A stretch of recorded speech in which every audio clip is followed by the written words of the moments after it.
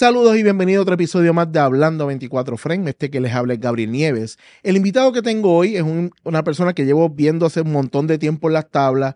Eh, de verdad que es una persona bien talentosa y el talento ya lo ha llevado, pues obviamente, cuando tú eres una persona talentosa sigues creciendo y lo ha llevado a Broadway.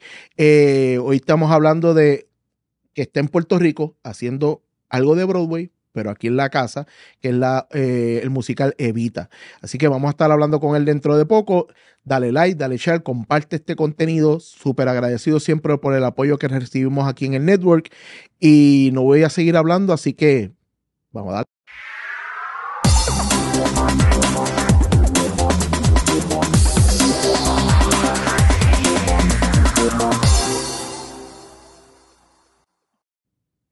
Y le damos la bienvenida a Eddie Noel aquí hablando 24 Friends. ¿Cómo tú estás? pues? Muy bien, manito. Me alegro tenerte, de verdad, me alegro se tenerte. nos dio.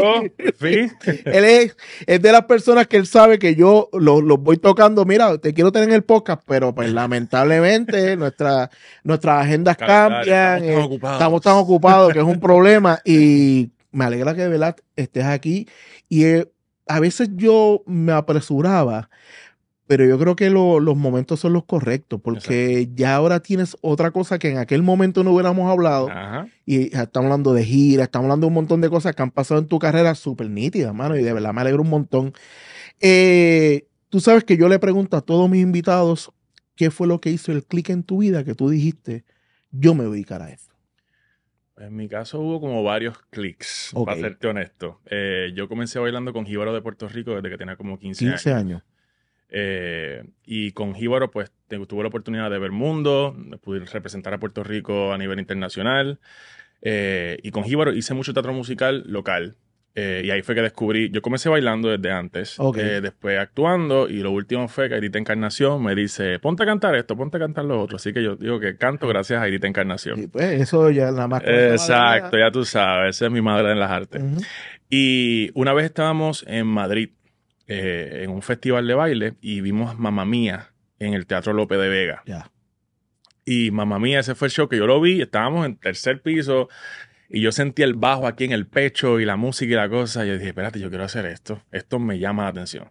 So, aparte de lo que yo estaba haciendo con Jíbaro, que ya me estaba dando ese glimpse de lo que quería hacer, cuando lo vi en vivo, que ese fue como quien dice mi primer Broadway show, aunque no fue en Nueva York, fue en Madrid, pero tú sabes que eso es calidad Broadway, ahí fue que yo dije, yo quiero hacer esto. Sí, porque ya lo estás llevando más allá de, de bailar pues música eh, típica, Folklore, claro, claro. eh, que es otro vibe, es otro, vas a Sí, es otra cosa. Y ya ver un espectáculo overall, pues obviamente te, te impacta diferente. A mí me llama mucho la atención el- eh, tu historia referente a, a los 15, 16 años. eh, es decir, ok, pues yo estoy, porque suena, uno lo escucha y suena bien normal. Ah, pues sí, con Jíbaro de Puerto Rico somos dos adultos ya, entendemos lo que hay. Pero con 15 años no es lo mismo. No, no. O sea, los 15 años tú decirte, yo puedo escuch- escuchar hoy en día eh, 15 años, ah, pues aprendí a hacer jazz, ballet, pero porque con las cosas que más o menos Claro. uno escucha normalmente. Pero Jíbaro de Puerto Rico a los 15 años no es como que algo que es bien pana friendly. Pues mira. es como que, ah, Exacto. pegando Jíbaro. Pues la, la historia de eso es que con Jíbaro yo fui a ver una vez este, esta pieza en la sala experimental. Entonces mi maestro en aquel momento, Abner Resto, que en paz descanse, él, él era parte de la compañía. Ok. Entonces eh, vimos, fuimos a ver el show, yo vi al grupo de baile folclórico ahí, frente a nosotros tan cerca, porque es la sala experimental, Ujú. y el, el escuchar la música de nuestro folclore, los tambores, los, los barriles, los- las plenas y los pleneros, pues me, me emocionó, me llenó mucho. Entonces yo siempre, él me dijo que había como unas audiciones. Que, fun fact, se supone que tuviese 10 16 años o más para entrar a la compañía. Hubo truco. Pero ya desde antes, no, no, desde antes ya yo estaba bailando. Yo estaba metiendo en cuanto talent show. O sea que la, la parte de baile ya a mí me ya apasionaba. estaba en ti. Ya So, al yo verlo fue que yo dije, espérate, esto está bien interesante. Y pues él, gracias a él, él me llevaba a los ensayos. Y ahí fue que poco a poco, pues yo entré a la compañía diciendo que tenía 16. No mientan. Pero eh, fue bien interesante. Yo siempre cuento esto porque fue bien interesante. Una vez eh, uno de los compañeros me preguntó, yo dije que me iba a graduar. Eh, y ellos pensaban que era de high school. y era de noveno. No. Pero como yo soy No tan chiquito, este cuerpecito de 6 2, pues ya tú sabes. Sí. Y eso es una. en el siempre negocio hablamos de las artes, eh, las mentiras blancas siempre corren. Exacto, hay que saber, tú Porque entonces sabes. Cuando tú las tiras para ver cómo Claro, pero gracias, gracias a eso, de verdad que, te digo, Jíbaro fueron, son 15, fueron 15 años de mi vida. Y todavía si Jíbaro me llama, ellos saben que yo siempre colaboro con ellos y trabajo con ellos porque esa es mi familia. Esa gente me vio crecer Y literalmente. por lo regular conoces mundo. Exacto, ¿no? Gracias a él. Yo fui a. México, Grecia, Turquía, Serbia, España, por esa compañía. Entonces, eso a mí me, me, me, me dio, me dio la, la- la habilidad de, de poder ver el mundo, de quitarme la gringola que muchas veces tenemos y ver las distintas opciones que tienes. Y eso se lo siempre agradecido. Y yo, yo pienso que este tipo de, de, de proyecto te enseña que cualquier lugar es, es una tarima, cualquier lugar es un escenario, Yep. eh, porque no todo, eh, eh, todos estos espectáculos los bailan en, en un teatro. Claro. ¿Sabes? Vas a un montón de venues extrañísimos. Claro. Pueden ser plazas, pueden ser un Ujú. montón. Pero que en el caso de Jíbaro, a mí es la pasión por nuestro folclore y nuestra cultura, que es una de las cosas que, Que ya no se alimenta. que tenemos que seguir salvándola y tenemos que defenderla, porque yo quisiera que cual- todo puertorriqueño estuviese en los festivales de folclore que nosotros estuvimos y que vieran cómo la gente de otros países se desbordaban por ver nuestro show. Estábamos con show de eh, África, España, Turquía, otros grupos que vamos, su folclore es bello también. Pero lo que nuestra música tiene es algo que no se puede explicar cuando estamos en esos shows allá. Y eso es algo que siempre voy a tener y siempre me voy a llevar y voy a defenderlo hasta la muerte, ya sea que esté aquí en Puerto Rico, sea que esté en, Nueva York, que ahora mismo estoy residiendo allá. Yo voy a defender mi cultura porque nuestro folclore es bien impresionante y es bien rico. Nuestra mezcla hay que valorar la gente. Yo pienso que en ese tipo de eventos eh, impacta más que otra gente que están bailando folclore. Eh, viren la cabeza y decir, espérate, esto está chévere. tú Papi, sabes, cuando la gente está- escucha lo- lo- los barriles de bomba, Ujú. eso se quiere caer. Eso se quiere caer. Y los pleneros y la plena y todo. y lo- igualmente los bailes de montaña, los seis, lo vistoso, el cuatro puertorriqueño, como se siente, es, es her- es hermoso. Y eso de verdad que. Ok. Yo sé, me gusta que se está fusionando con mucha música popular hoy día, pero hay que rescatar Hay que esa decir cultura, a- no solamente pensando en Navidad. Ya. Sí, porque aquí eh, la patria llama en Navidades. Exacto. Este, o cuando te vas del país. Exacto. Ahí entonces la bandera te es linda, todo, es, todo es lindo y bello. Este, Que- es que extrañas hasta los coquíes. Yo soy yo. Ayer estaba hablando con Chevy Torres que a veces hasta para dormir ah, salimos de un canal en una promoción y estaban los coquíes encendidos. Y yo dije, coño, qué lindo, se, se, se, se escucha tan chévere. Y a veces tenemos un playlist, porque en la- hay un playlist en, en- en Spotify o whatever, Ajá. Que tú tienes los coquíes. y Ah, a veces para dormir yo pongo como 20 Ah. minutos para escuchar los coquíes, lo que me quedó pegado. Sí, porque la gente, ah, como duerme en Nueva York, pero ven acá. por primera Exacto, exacto, exacto. Son ruidos que uno le encanta. Claro. Este, ok, vamos a, a, eh, de nuevo a, a montarnos en el, en el futuro después de que tienes 15 años. Y estás en ese momento que ves la obra. Una cosa es decir, ok, esto me gusta, esto es lo que yo le quiero meter mano. ¿Cómo encarrilas eso a, a, a- a hacer una realidad? Bueno, vuelvo. Jíbaro en realidad fue el que me dio la oportunidad de hacer las tres cosas, pero entonces ya fuera de Jíbaro, eh, la primera producción que hice aquí en Puerto Rico de un musical de Broadway fue Rent en el 2009, que fue dirigido por Miguel Rosa. Y esa fue de las primeras oportunidades que yo tuve como para audicionar para cosas locales aquí fuera de Jíbaro de Puerto Rico. Y eso, ese musical, al hacerlo aquí, ahí también me despertó esa parte de que, ok, ahí reafirmé, porque lo vi en el escenario cuando vi Mamma Mía, pero cuando lo hice aquí en Puerto Rico, hice Rent, yo dije, no, espérate, esto es. Aquí lo quiero hacer. Y aunque yo estudié telecomunicaciones, yo estudié telecomunicaciones en Sagrado. Eh, ya yo estaba trabajando en teatro a la hora de que me iba a graduar. Eh, y empecé, tomé mis electivas en teatro. Iba a ser como que el minor, que me faltaban como quizás dos clases más para hacer el minor, pero ya yo estaba laborando. en Sabes que eso de telecomunicaciones en sagrado chotea edades, ¿verdad? Porque ya ni se llama Sí, así. sí. ¿Cómo se llama ahora? ¿Cómo se llama ahora? ¡Ah! Eh, porque ya no se llama diablo. Pero- no, pero Yo fue, estudié telecomunicaciones en Fun sagrado. fact, yo me- yo- lo más brutal es que yo me graduó y el mismo, creo, creo que fue el año de mi graduación o después, fue cuando la televisión se convirtió digital. Digital. So, la mitad de las cosas que estudié estaban obsoletas. Sí. Tú sabes. So, es como, pues, pero, eh, pero mi pasión es esa, sea, yo la parte técnica, todo esto, yo comencé detrás de cámara y cuando trabajé en Guapa fue que entonces eh, me audicionaron para hacer algo frente a cámara y estuve produciendo y haciendo host de Hangio TV y TV, así que, Hangio TV. que eso me ayudó mucho y sí, Guapa me ayudó. Ok, eh, es curioso que, que empiezas, eh, tú me corrías si no, es no es cierto, Rente es lo primero que haces como tal, Sí, eh, eh, que fuera musical. de musical de Broadway, aquí en Ajá, Puerto Rico. por eso, sí. ¿sabes? Eh, que después de uno dándole la vuelta a tu carrera, estás ahora mismo trabajando con Broadway. ¿Sabes? Porque por lo regular aquí es entrar a una obra normal, no Claro. una obra sin, sin bailar. Claro. Este, ¿siempre te llamó la atención el lado este de tipo Broadway o no matter what yo quiero actuar? Eh, digo, la actuación siempre apasiona, pero en mi caso fue en- entrar por la parte de teatro musical. Yo soy bien musical, a mí me- yo todo lo hago con música, hasta para acostarme a dormir. Tengo que poner musiquita o algo para estudiar o lo que sea. Entonces el teatro musical siempre me apasionó. Eh, y si me llaman para hacer cosas de comedia o drama, que ha sido bien poco de lo que he hecho acá, si lo tengo que hacer, lo hago. Y hay gente que me ha dado la oportunidad y me lo gozo también. Y quiero seguir explorando también la parte de drama también. Pero, pues aquí en Puerto Rico yo sé que la gente me conoce como un chamaco de teatro musical. Y I'm, and I'm happy with that. Y estoy contento No, con no, eso, porque aquí el talento que hay para teatro musical también es bien grande. He tenido la oportunidad de dar varios talleres y yo me quedo bruto. Yo me quedo bruto. Y, y aquí a la hora de, a veces hablamos de los castings y aquí hay que hacer casting masivos más. Se han hecho, porque no voy a decir que no se han hecho. Pero hay Pero que no crear una cultura. costumbre. Exacto, no, No es una costumbre, costumbre. pero hay que crear una cultura sobre eso para descubrir talentos nuevos y no seguir usando a la misma gente que, vamos, está bien, todo el mundo aprovecha el guiso, pero hay que ver, hay que ver más talento. Aquí tenemos un problema, yo creo que eh, podemos achacarle un poco ese problema de no hacer casting abiertos como tal, porque lamentablemente nuestro teatro muere en un fin de semana. Entonces tratan de buscar nombres que hiten con, con taquilla, ¿no? Claro. De que puedan vender boletos, pero se pierde mucha gente con mucha hambre. Exacto. Eh, con mucha hambre de, de- de aparecer ahí, tal vez el presupuesto que no le estás metiendo a, a los actores o qué sé yo, puedes meterle más a que, mira, ve a ver la pieza. Claro. ¿sabe? Eh, no porque no tengan nombre significa que son malos.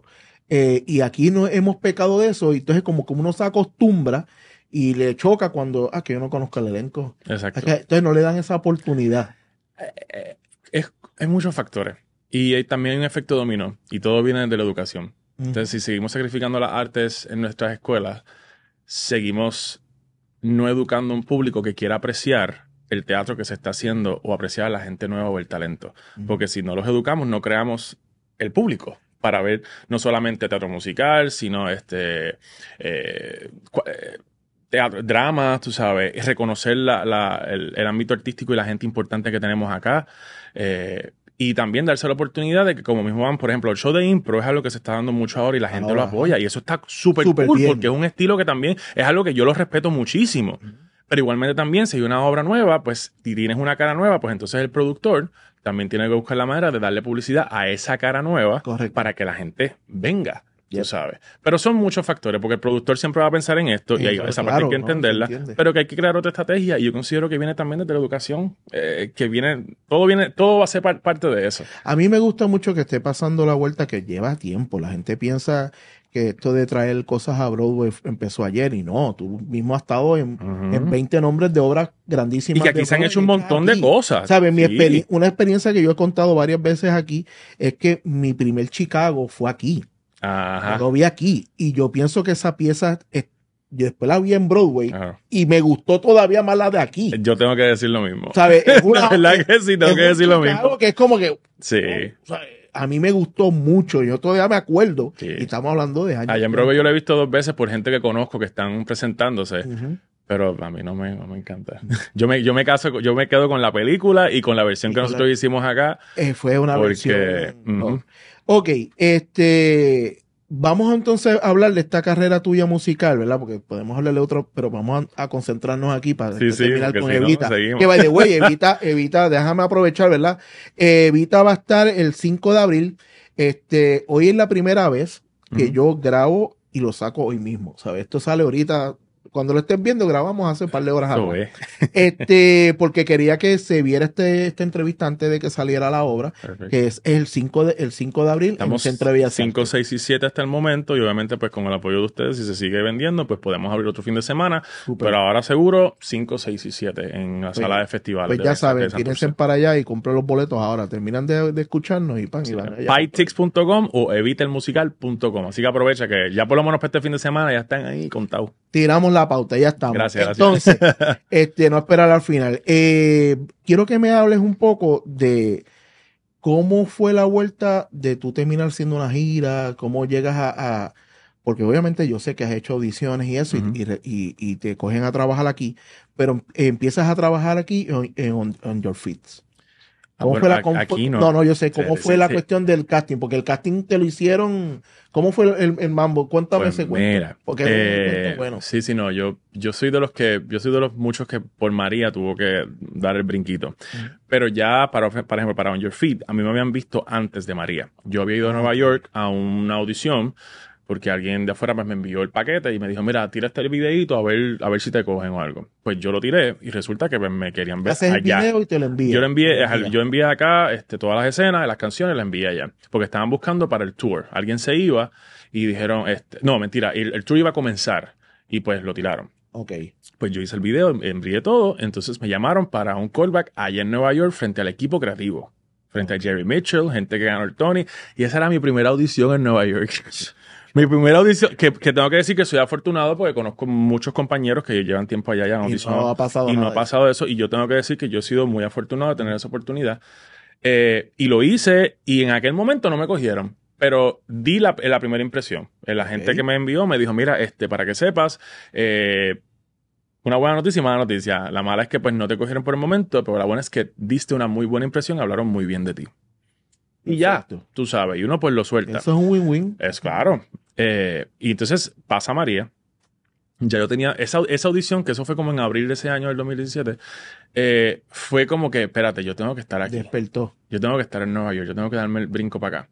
Y ya estaba en planes, pero era para enero del 2018. Pasa María, yo dije, me cancelaron todo lo que tenía aquí de producción, y yo dije, tengo que sobrevivir, tengo que... So, con los poquitos ahorros que yo tenía, Arranca. me fui para casa de mi prima en el Bronx este, y me fui para allá. Entonces, el 11 de octubre, nunca se me olvida. Que incluso hasta para comprar el pasaje tuve que... Yo soy de Vega Baja. Yo vine de Vega Baja a San Juan Sí, a no coger señal de internet para poder comprarlo. Sí, que no era ni fácil comprar. el boleto. Exacto, exacto. So, hice eso y me fui para allá. Eh, tan pronto llegué a la semana empecé a trabajar en esta tienda en Times Square, frente al edificio donde yo había audicionado. Ok. Y siempre que yo entraba a la No tienda qué a abrir... porque a mí me ese Sí, punto, está bien sí, no, no. Cada vez que yo entraba a la tienda, yo veía el edificio y yo tengo que volver ahí, yo tengo que volver ahí, que es Chelsea and Company, que es una de las compañías de casting más grandes en Nueva York, no solamente para teatro musical, sino para series en Netflix y todo lo demás. Te voy a interrumpir un momento. Yo, a mí me encantan estos momentos porque a veces la gente, ¿verdad? Dice, no, yo voy a estar ahí, que sé, yo", y la gente siempre por lo regular dice, eh, eh, ajá, papá. Eh, no es decirlo, es decirlo y creerlo. Y declararlo y... y, y tú sabes que ese va a ser un gol. Exacto. Y cuando es así, tú trabajas para que eso se realice. A mí me, me encanta entonces ver el, el futuro de esa persona y ver que sí sucedió, pero no lo voy a adelantar más. obviamente Claro, no. Sabemos que estuviste ahí, pero quiero que hagas el cuento. En mi caso, a mí, por ejemplo, esas navidades que también eran las primeras navidades fuertes que yo estaba pasando en Nueva York, el frío, que eso es bien funny también. Pasé María aquí y a la, al mes allá hubo una Era- tormenta de nieve. Y yo dije, salí de una a meterme en otra. sí. Pero nada, lo, lo pasé y empecé a trabajar en esa tienda. Y a mí nunca se me olvida que el primero de enero del 2018 yo tuve que abrir la tienda. y yo sacando el confeti de la tienda eh, a esa hora, pero igualmente siempre enfocado. ¿Qué pasa? Se terminó, porque era una tienda que era por temporada, se terminó esa, esa, esa- ese trabajo y estaba desempleado. Yo dije, pues, ¿qué vamos a hacer ahora? ¿Qué pasa? Alguien del tour se iba. So, la llamada volvió y mi gente me dice, mira, ¿te quieren ver de nuevo? Ve para allá. Fui para allá y... Ya te habías cuadrado con agente. En aquel caso, la persona que me envió me recomendó un agente en Nueva York y con esa persona en Nueva York pues ya Oh, había firmado. Sí, sí, ok. So, pues con ella, pues, Que eso es sumamente importante. que es bien Sí. importante crear ese tipo de conexión y todo lo demás. siempre he pensado que es sumamente necesario porque los artistas no sabemos cobrar. Esa- Sí, es verdad. bueno, yo he aprendido mucho en ese proceso sabes, y a- pero- hoy día, para por lo menos puncho, ya uno, uno Sabe. más o menos sabe qué pedir y qué no. sabes que es bueno que otra persona bregue. Sí, sí, sí, sí, sí, sí, sí, sí, un dices, intermediario. "Oye, Tengo 300 pesos, eh, con eso puedo pagar la luz. Eh, así que piensa el ser humano. Claro, claro. Cuando es para otro, dice, no, no, 300 no queremos 600.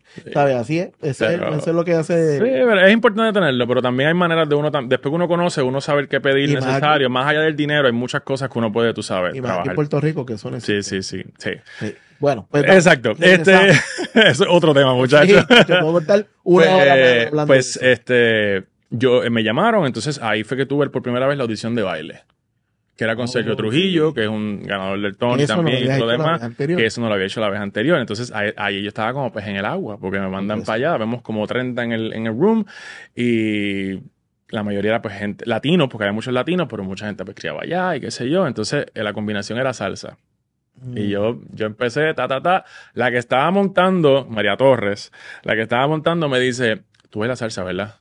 Ven acá. So, ella enseñó la combinación conmigo, Contigo, yo que oh. estaba audicionando. Ok. So, eso fue como que, espérate, chévere. Nada, lo hicimos, Sergio Trujillo vino, pa, pa, pa. De los 30, nos cogieron a seis. Tres varones y tres muchachas.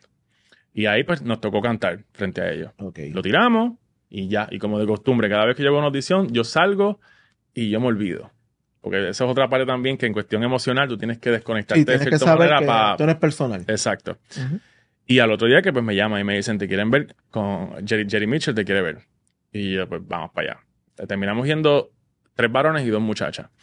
Fuimos, lo hicimos, yo fui el último a audicionar, se acabó. Dos semanas pasaron y ninguna llamada. Y ahí tú dices, espérate, espérate, espérate. Sí. Hasta que de momento mi agente me dice, ¿cómo estás, Emilio? Y yo como, ¿qué? Y pues yo cuando entré al tour era para cubrir todos los personajes varones, incluyendo el papá de Gloria y Emilio. Ajá. So, así de la noche a la mañana me llaman y me dicen, era un jueves y me dicen, tú puedes llegar aquí sábado. Y fue como, ellos estaban en East Lansing metido porque era el tour. So, automáticamente me llegaron todos los documentos y fue de la noche a la mañana a moverte. a moverme. Entonces, cuando llego allá, pues entonces me encuentro con el stage manager y todo lo demás, empiezo el show, era como este choque de muchas cosas porque de estar desempleado, de momento Ah, estás en este tour que es unionado, o que eso es otra cosa. Al yo entrar al tour, automáticamente la unión de actores me arropa, so ahí tengo que empezar a pagar los fees, ahí tengo que empezar a hacer todo, todo. cambia, todo, Todo cambia. cambia. pero a la misma vez fue como que eh, this is the big break. O sea, mi primera audición en Nueva York y Que tuve hay gente el que lleva la vida actuando y, y no entran. Exacto. ¿sabes? Por eso yo te digo, yo siempre agradecido de todo eso. que a los y- Broadway. Exacto. tu, tu vida entera. Y nada, ahí estuve año y medio, mano. Qué año y medio en ese mano. tour. Y en ese tour tuve tres contratos. El de Ensemble, después Ensemble Feature, cuando tuve que hacer del papá y Emilio. Y después Y después terminé con contrato principal. Que eso es algo que hay gente que también lleva muchos años. Y, y- y yo te digo, tengo que decir que soy bien bendecido. Y toda la gente que fueron parte de tomar esas decisiones, incluyendo eh, Emilio y Gloria, siempre estuvieron metidos ahí. Y yo nunca, a mí nunca se me olvida. Y esto es algo que cada vez que lo digo me emociono. eh, el, cuando, me dieron, cuando me dieron la noticia de que yo iba a terminar el tour con Emilio, fue actually Emilio Estefan. Estábamos en Miami, en West Palm Beach, en una de las abrazo, actividades. Y él fue, él me da, me da un abrazo, un beso y me dice, tú terminas el tour. Y se fue. Y yo me quedé como, ¿what? Yo recuerdo que yo cogí a una compañera mía, Chadia, y yo empecé a bailar salsa porque la música estaba ahí. Yo empecé a bailar salsa y yo estaba llorando y yo dije, y ella me, dijo, yo- ella me dice, ¿qué te pasa? Y yo, yo no sé, tú sigue bailando. So, yo me lo disfruté. Y al otro día mi agente que me llama y me dice, te lo dieron. Y yo, sé, diablo. Sí, fue Pues- una cosa como que, ok, esto fue de verdad. Sí, sí, sí, mano. Entonces, pues nada, año y medio ahí. Después tuve la oportunidad de hacer el On Your Feet, el primer regional en Estados Unidos también. Después que el tour ya había terminado. Y año y pico estuve viviendo en Nueva York, audicionando, trabajando, bla, bla, bla. COVID viene. Entonces, COVID pasó, pero antes de que pasara COVID, algo bien similar a On Your Feet, yo audicioné para Hadestown, que fue el último show que yo hice. Y en aquel momento tampoco me cogieron. Esto es lo que a mí me gusta de esta historia, porque cuando tú la vienes a ver, son bien, bien parecidas. Es bien parecido, exacto. Eh, eh, diferentes tragedias, Exacto. una de Puerto Rico nada más y otra Yo mundial. espero que no pase otra para, para el otro show, para Pero, otro show de Broadway. eh, tengo que decirte que a veces uno no, no, no entiende, pero en mi caso, eh, todo estos tipos de cosas que pasaron me ayudó en lo que yo Claro. eh, eh, a salir del comfort zone, que es lo que muchas veces pasaba. creo que es, es una manera de que el mundo te sacude. de Y, que- y, y, y vamos, son tragedias, pero de alguna otra manera hay que buscar la parte positiva de Ahí este tipo está, de cosas está, para ahí- ti como persona, para Ahí es que está y ahí que tú de- ahí que se demuestran los que cogieron este, este- esta situación negativa y la convirtieron en otra cosa. ¿Sabes? O te hundes en ella o sales de eso. Y por eso es que me gusta mucho esta historia, porque tiene muchas cosas bien paralelas, ¿sabes? Se parecen un montón. Bueno, pero damos, que este cuento me lo sé, pero quiero, quiero que la gente lo escuche. Nada, eh, eh, pues eh, pasó, eh, había audicionado para Hadestown antes, no me cogieron, ¿qué pasa? Pasa COVID, COVID empieza, yo me vengo para Puerto Rico, so, yo vendo mis cosas allá en Nueva York, vendí, salí de las cosas de allá, me vine para acá, estuve año y medio, y entonces ahí donde, por COVID todo era por video. So, había que hacer audiciones por video, no importa qué, todo por video. Y me llamaron y me dijeron, mira, te quieren ver. Y yo, pues dale, vamos a hacerlo. Y audicioné para otro personaje que originalmente no había audicionado, que a mí no se me había ocurrido que me, posiblemente me querían para eso. Y fue bien interesante porque ese final callback que fue frente a la ganadora del Tony, a, los o a la compositora, frente a la gente de Hadestown, bien importante, en Zoom en una computadora en el estudio donde yo bailaba en Jíbaro de Puerto Rico. Sí, sí. Que a mí es como, porque yo dije, yo fui para ellos, dije, yo necesito un espacio que yo me sienta ah, cómodo, vamos a hacerlo. Que también era una manera distinta de audicionar, porque entonces ellos quieren que tú audiciones para la cámara. Entonces, como que estás audicionando para televisión, pero es para teatro, pero entonces hay muchos factores y todos los actores que yo siento que se identifican en ese momento, era como una nueva manera y una, una nueva técnica de audicionar para teatro musical en cámara. Sí, diálogo. Tú sabes. Eh, y entonces nada, pasó eso. Y en un ambiente frío le añadimos más frío. Exacto.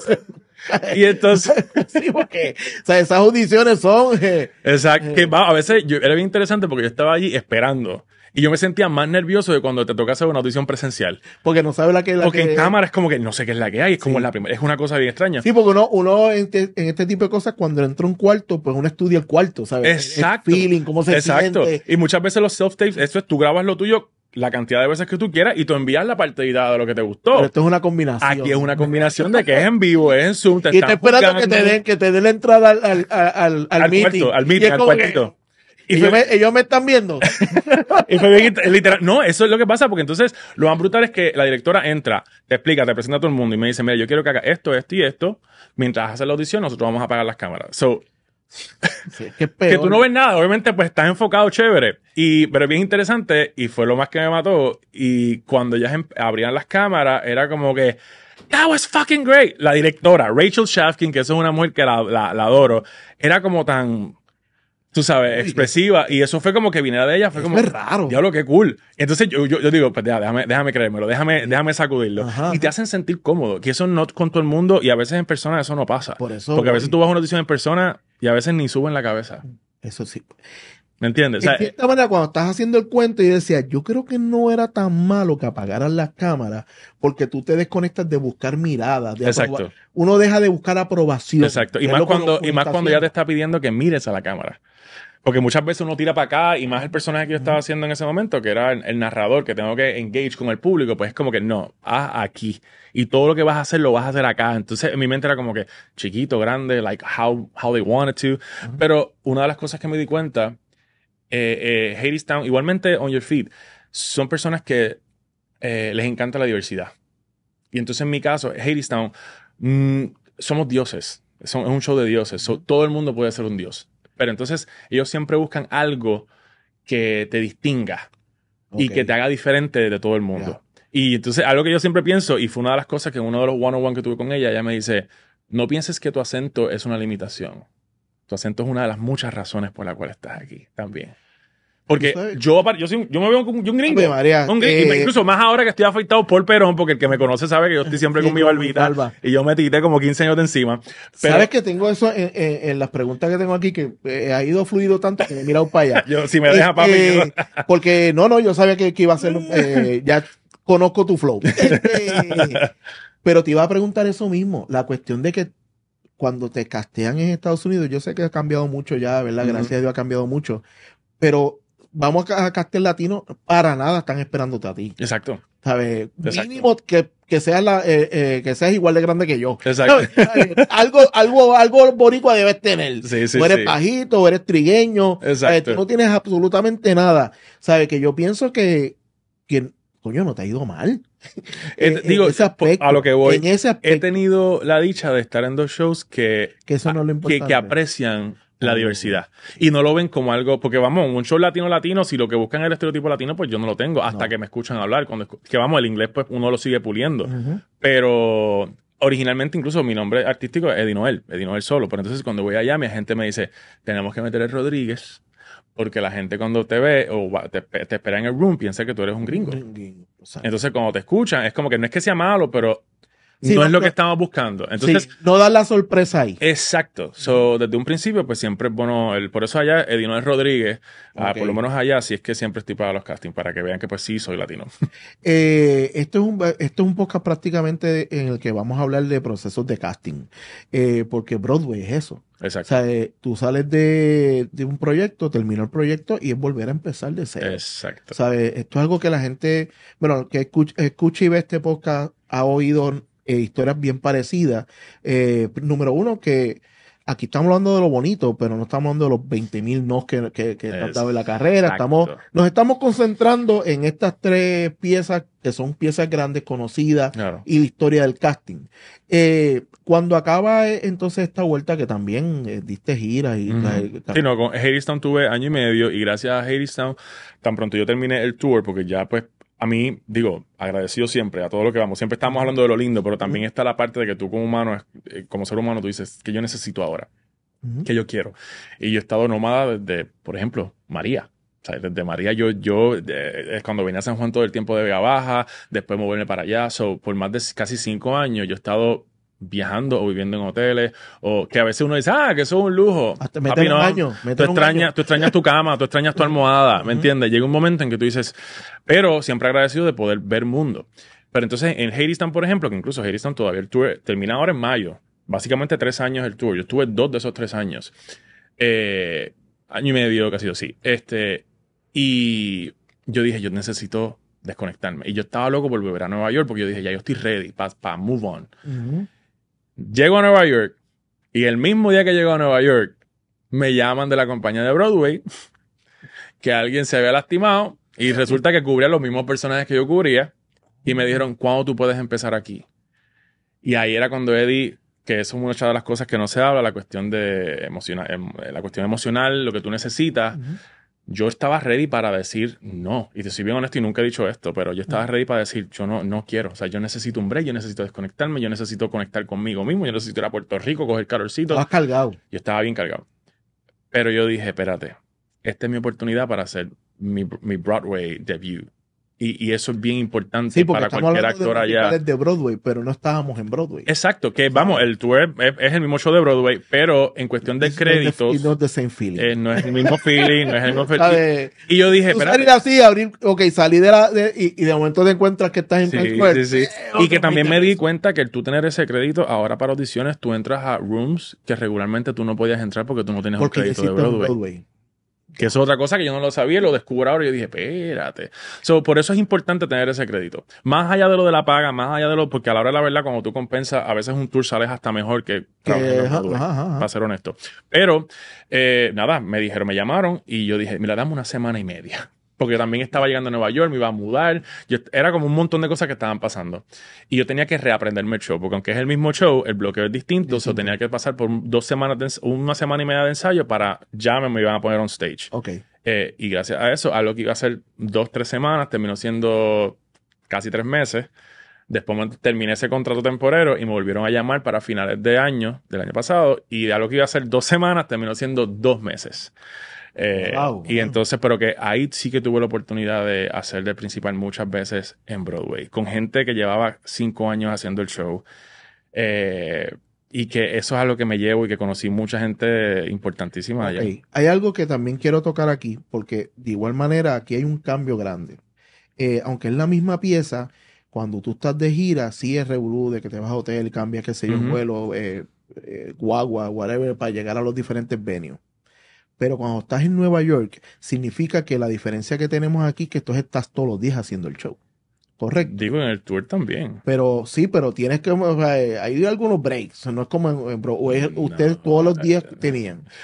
Mira, estamos hablando de un año que es igual. No, Yo eh, tenía como la, que- dife- la diferencia, la diferencia, para que tengamos más o menos. Tour, por ejemplo, en Broadway y en, y en Tour se hacen ocho shows a la semana, no matter what. La diferencia es el horario. En el Tour hacemos shows de martes a viernes, Ah, un show cada día, y sábado y domingo doble. Doble. Para entonces lunes, que es nuestro día libre, estamos viajando para el próximo lugar. A menos que tengamos dos, más de dos semanas en un sitio, y ahí pues, por lo menos el lunes de verdad es libre. Es libre. Pero también te digo un show diario de martes a viernes, pero no te estoy diciendo de los ensayos que tenemos que tener antes del show.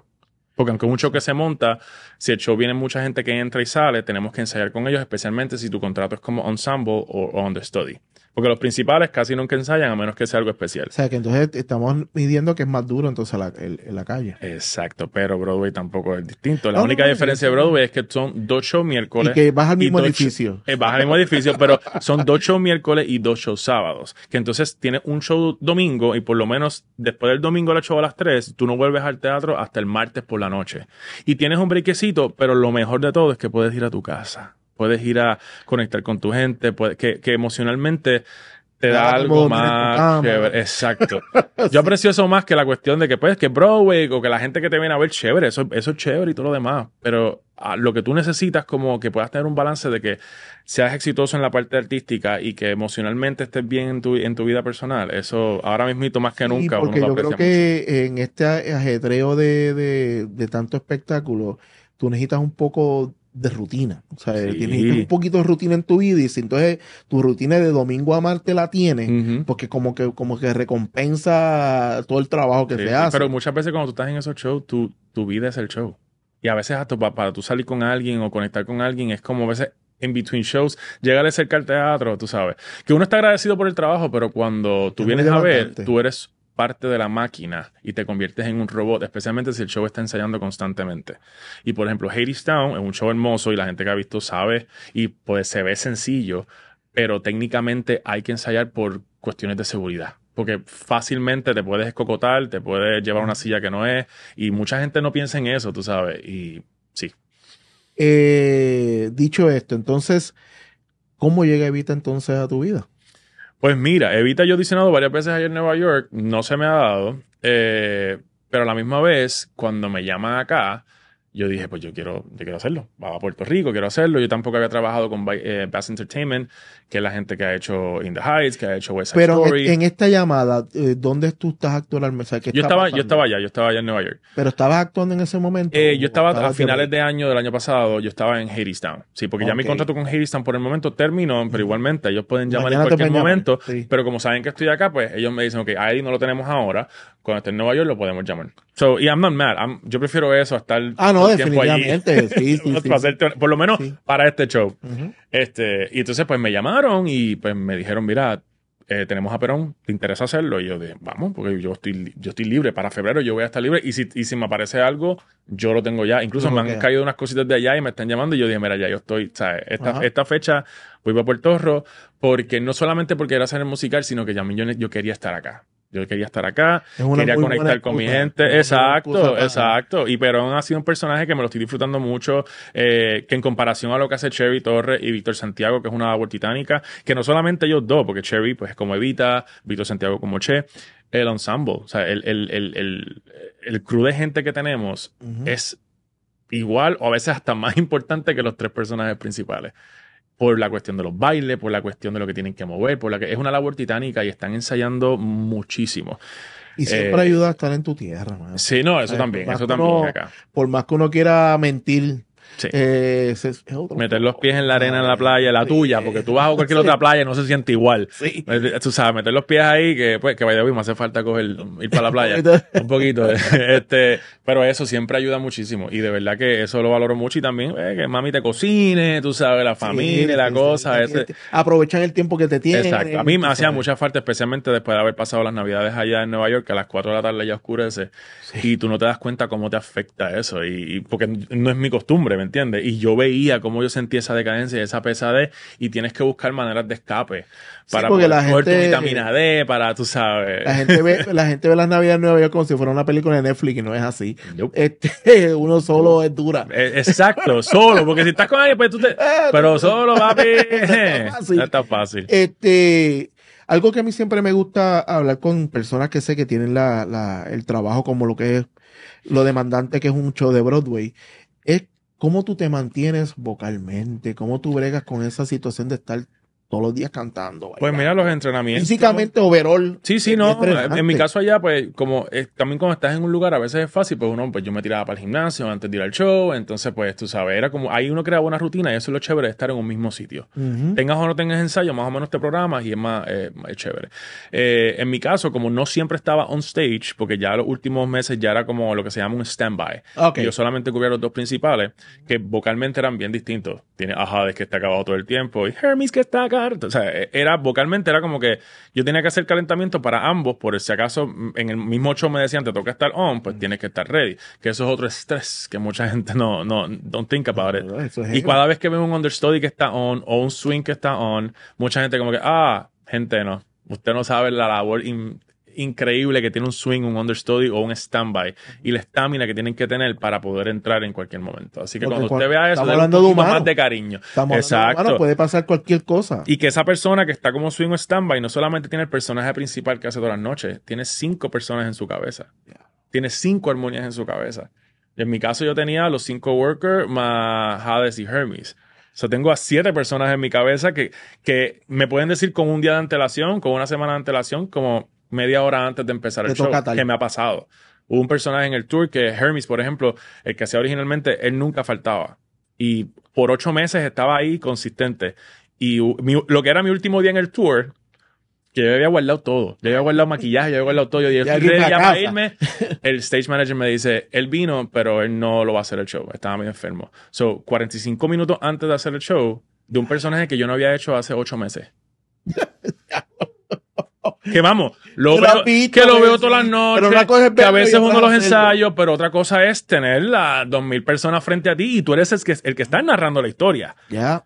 Y me que tiraron y ese show fueron dos shows ese día. E incluso ese show me dijeron, te puedes quedar una semana más.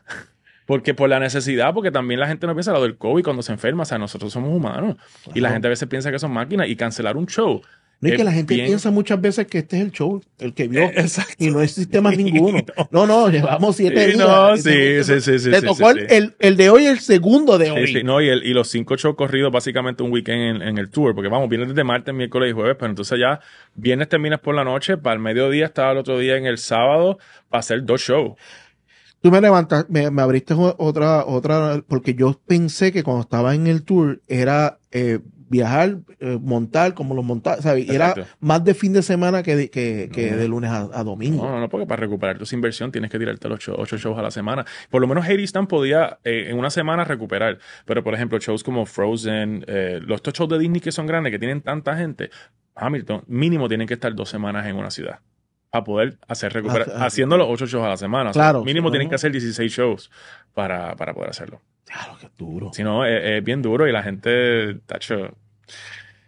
Sí, Es, es duro, pero es gratificante, mano. Y yo aprendí muchísimo y como swing, el poder abrir tu mente a, a- a aprenderte tanta cosa. Al principio yo estaba súper asustado, porque era mi primera vez que para Hadestown y yo estaba empezando un tour nacional. Porque On Your Feet yo empecé cuando ya estaba corriendo. So yo aprendí lo que me tocaba. En Hadestown yo tuve que adaptarme a lo que Rachel Shafkin estaba adaptando para el tour también. Y de momento te aprendías esto y de momento, ok, esto no va, aprendete esto otro. So yo tenía que estar adaptándome con los otros personajes que yo estaba cubriéndome. Y las armonías, la misma canción en distintas armonías, para mí eso era el reto más brutal. Eh, con tanto, con- todo lo que has contado aquí mentalmente Drenante. es drenante. Sí. Eh, Estamos locos porque tenemos cuero duro sí. y porque pues, pero a veces, por eso- a veces siempre me paso relajando con eso que dicen, ah, que los artistas están locos, pero es que nosotros nos enfrentamos a ciertas cosas que yo digo que los moguls, lo- lo- a la gente normal, por No, así no, decir, no, se enfrenta. Eh, y tenemos que tener, tenemos que tener cuero duro. Pues ahora iba con eso. ¿Tienes algún tipo de. de. Escape. que- ajá, como que cuando. ¿Qué haces cuando ya quiere- quieres que esa mente no piense?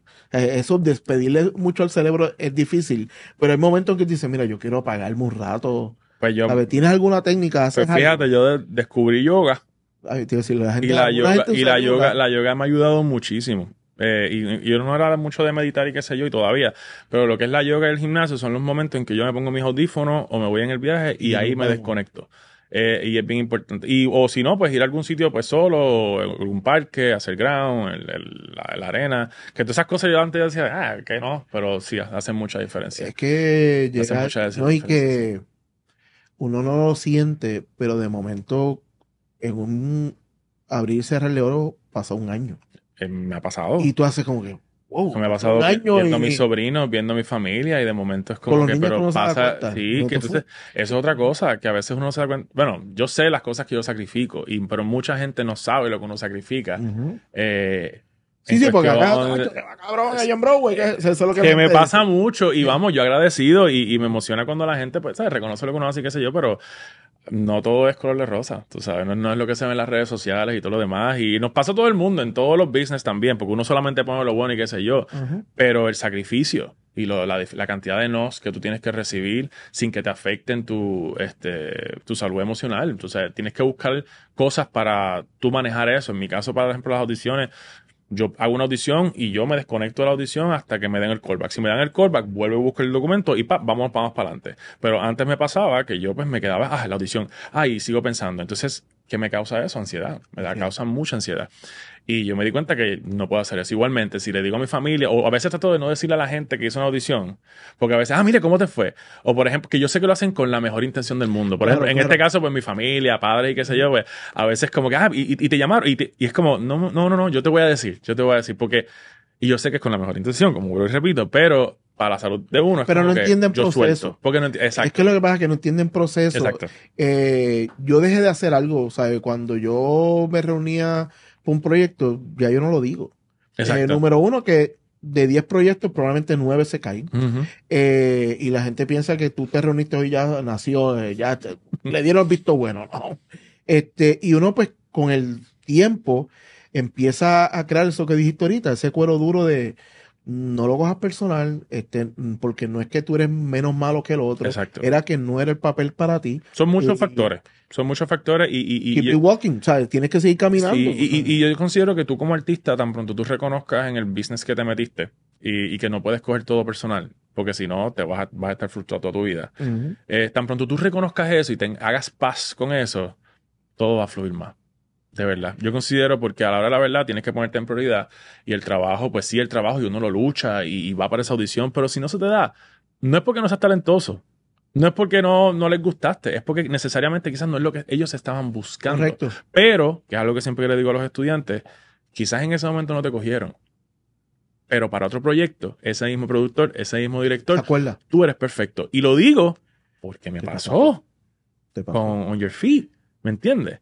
Y así que, por- perdón, eh, que todas esas audiciones siempre hazlo como lo mejor que tú puedas y cuando termine, sacúdelo, no lo cojas personal y vete y date un palo celebrando lo que hiciste. Ahora vamos.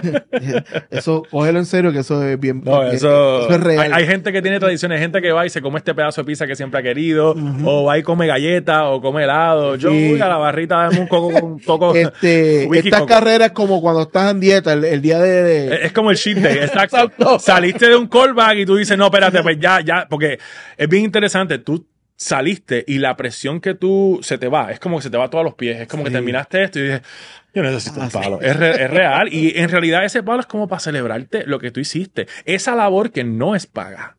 Esa labor que tú te está. sacrificas por tiempo y que tú como artista tienes que reconocer que ese es el trabajo difícil. Porque ya después que tú tienes el guiso, en este caso el 8 de Broadway, es hacer lo mismo ocho veces en semana y mantener la estamina para eso y mantener la armonía, que te sientas contento con lo que estás haciendo.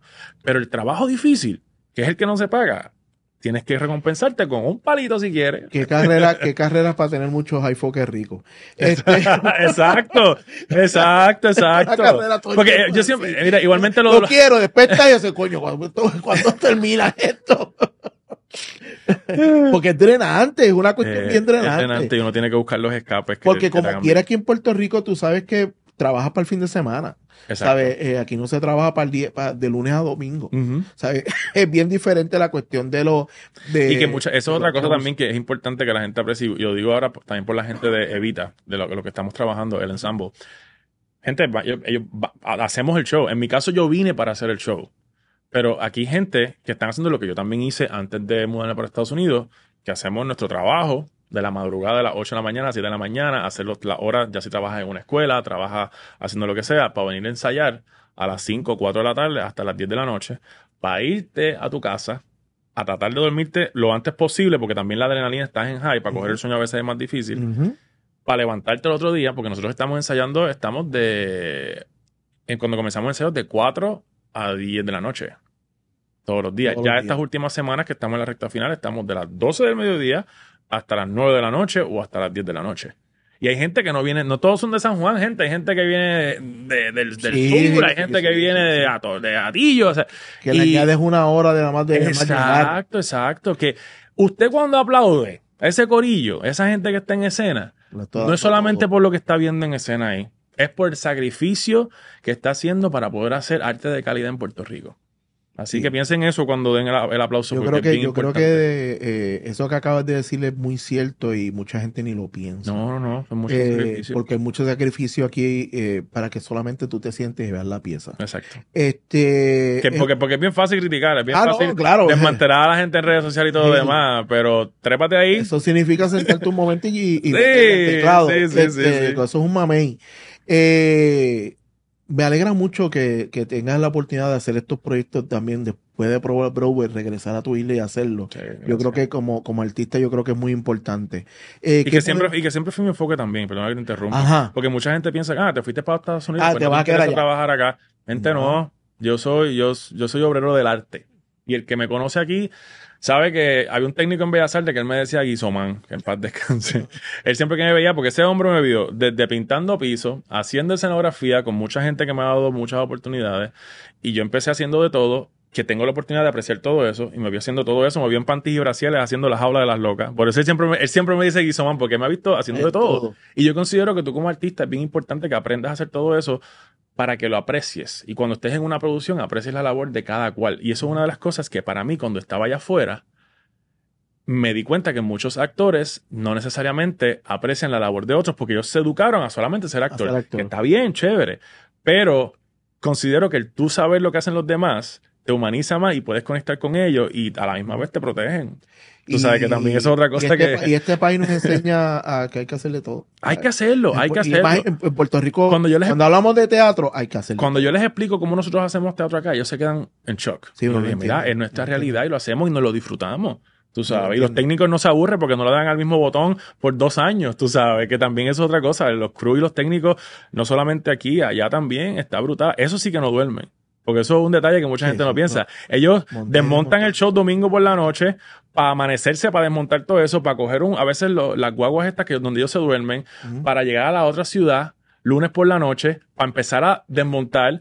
El martes, cuando estamos haciendo soundcheck, a veces están con los últimos este, tornillos y los últimos ajustes y eh, iluminación. Eso sí que no duerme, hermano. No, no, eh, eh, está. Es fuerte, es fuerte. O sea, mover un show de esa magnitud, no solamente allá, acá también. Ahora mismito, nosotros estamos aquí, pero yo sé que están desde las 8 de la mañana eh, bregando con luces allá para que el viernes eso esté ready.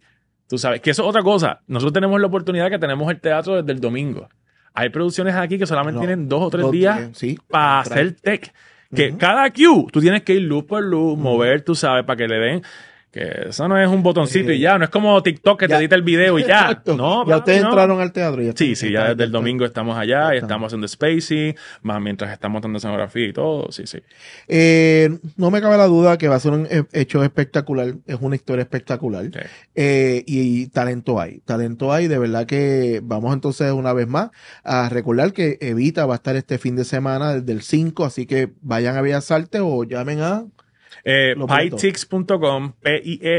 P-I-E-T-I-X.com, o más fácil, evitelmusical.com, que lo lleva directito ahí. Cuando termines ahora con Evita, ¿regresas entonces nuevamente a Estados Unidos? o- Eh, voy a estar aquí hasta mitad de mayo porque voy a hacer un proyecto también en la Sinfónica. Ah, este, y ya después de ahí, pues entonces regreso a Estados Unidos. Pero voy y vengo. Esto- Voy y vengo. La vida es es la gitana, que hay. no. Sí, sí, yo sigo siendo nómada. de verdad agradecido Gracias, ¿verdad? manito, porque sentarte un rato a hablar con nosotros aquí eh, ¿dónde te pueden conseguir las redes sociales? Eddie Noel R. Eddie Noel R en todas las redes sociales. Eh, esto se lo doy a todo el mundo que pasa por aquí es un pequeño recuerdo que lo pongas en el bulto de ensayo lo que sea pero Gracias. que sepas que estuviste aquí hablando conmigo en Apreciado, Hablando hermano. 24 Frames Gracias. bueno y hasta aquí otro episodio más de Hablando 24 Frames como siempre les digo para terminar toda vida es una película la diferencia es que no todas llegan al celuloide bye bye